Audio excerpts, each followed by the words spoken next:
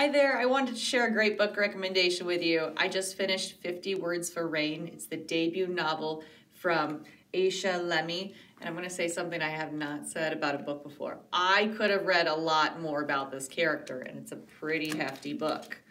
It was a wonderful story of a, a woman, a young woman um, coming of age in post World War II Japan. So it's a historical fiction area that I am not familiar with at all. It was full of class issues and race, race issues and family issues.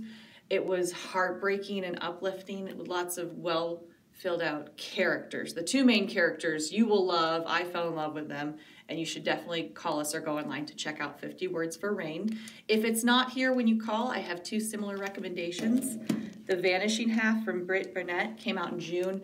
This book made a lot of noise, it's getting great reviews. I haven't read it yet, but it's on my to read list. It's the story of two twin sisters who are brought up under different circumstances and how their lives um, separate and come back together. And that sounds like a wonderful book as well. And then last, word, last year, Dear Edward came out. I believe this is also her debut novel. Um, this has gotten great reviews about a young boy who survives a trauma and has a very um, wonderfully written family story for us all to enjoy.